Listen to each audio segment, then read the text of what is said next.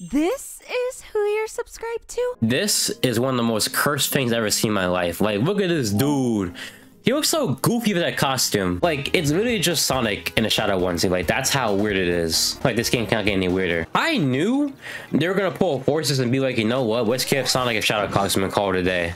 But like, this just feels so goofy, like in a good way though. It's not a bad costume at all. It's not a bad costume at all either. Like, it's pretty solid too but like it just feels so so cursed. Like seeing like like seeing sonic wear a shadow costume just feels so so weird. But yeah interesting way to start the year of shadow. I'll tell you that. I heard this was already like in the game's files already so like it was inevitable to happen. I thought it was like a, a cut skin they had but lo and behold it came out today. It feels so weird to now fix in the game like once the year began. Like it's just like they saw the game says like you know what? Let's fix the game? Which which should have been done a couple months ago because this game is full of technical glitches and issues issues. Like it's just so it's not as like glitchy as Color Ultimate, but I think it's just as glitchy as Color Ultimate. Like at least Color Ultimate had patches like several weeks after the game came out. Like Superstars, they at least like Christmas on that skin before they fixed the game. Like let that sink in. You know they got the priorities straight. And supposedly they game not selling well either, so which I'm not surprised about because like this game is has a lot of flaws. I mean, it's a decent classic game, but the bosses suck. There's a lot of glitches and like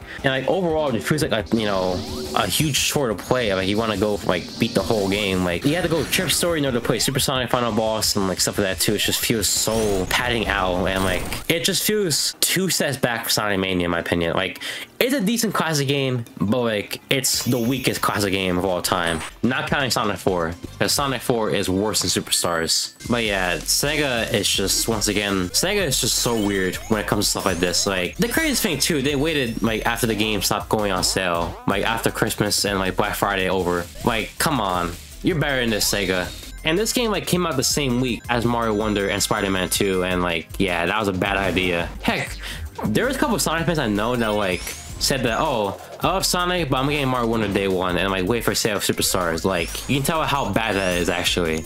Like, especially like if it's sixty dollars too. Like, it's not not worth sixty dollars for a budget 2D platformer.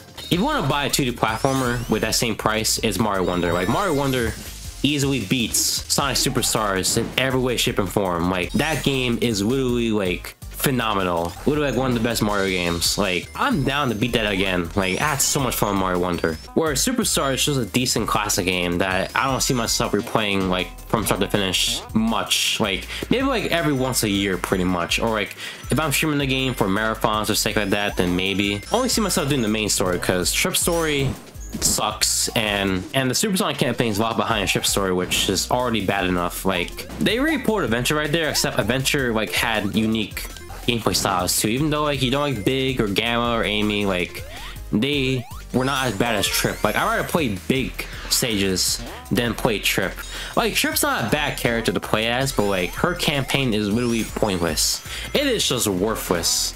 And then again, like the bosses too is literally bad. It's crazy I beat the main story. I was like, hey, this is pretty good. And then like once I got on the trip story and like the final boss and like other stuff too, like padding out just feels like a chore. I remember seeing those uh, articles coming out that like Superstar takes like 24 hours to complete. I'm like, ain't no way it's the case. And after beating the game, yeah, this is actually, if not triple than that. It's just so weird. Like, I don't know why they made a game like this pretty much. And like, it's just so, so weird. And like, another thing too, the game soundtrack is also trash. Like, I mean, well, it's not trash. Like, you got Tee Lopes stuff, you got, like, other stuff here, too. Like, it's such cool stuff, but, like, the Julius Noise stuff is just not good to listen to. No wonder why they got, like, 20 different composers for this game.